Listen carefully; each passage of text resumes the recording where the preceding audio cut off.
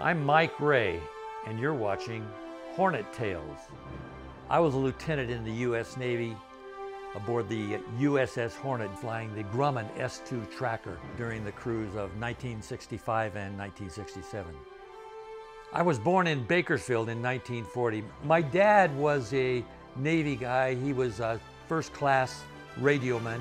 And uh, to be in, on the base with my dad where there was such activity was an exciting and a thrilling start to my life. And that was where I got my first taste of aviation. From that moment on, I wanted to be a Navy pilot. I got my wings in 1963, and I have to tell you, and getting these big wings here, being a real naval aviator, was the culmination of one of the high points of my life. The assignment I had coming out of flight training was going to VS-35, Air Anti-Submarine Warfare Squadron 35 based in San Diego. We were assigned to fly off the carrier CVS-12, which was the USS Hornet.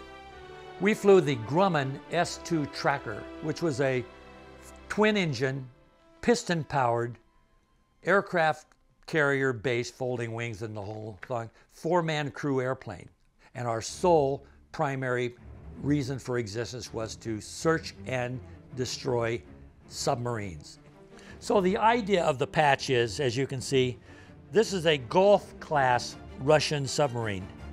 This is the VS-35 Spear. The fickle finger of fate is stabbing that sub to death, and that's what we did. This is one of my favorite possessions. I bought this camera in 1965, and as soon as I got to uh, the first seaport, which was Yokosuka, Japan, I went to the uh, Naval Exchange, and there I bought its fabulous camera. With this camera, I took over 7,000 pictures while I was on the Hornet. So I made a pretty good record of my experience. Some of these pictures are going to be included in this presentation so you can enjoy them. Some of my favorite spots on the ship to shoot from was the 07 level of the island. They call this Vulture's Row because you can see the whole flight deck. So most pictures that you'll see taken by most photographers are from that, that aspect as you shoot down onto the deck action because you can see the whole front of the ship all the way to the back and then you can see the airplanes coming aboard. I remember one time I was giving a brief and at the end I whipped out my camera, faced all the pilots and shot a picture of them and they went crazy. They thought it was funny.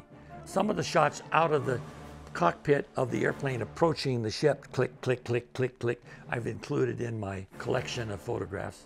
Once I left the Navy in 1967, I went directly to United Airlines. I retired in the year 2000. That was required requirement age, age 60. After that, I became a gamer. I love gaming. I love playing on the flight simulator. I have some all the latest flight simulation. If any of you out there are flying one of these online games where you're in combat, aviation combat, and you're getting your butt kicked, it could just be me doing the kicking.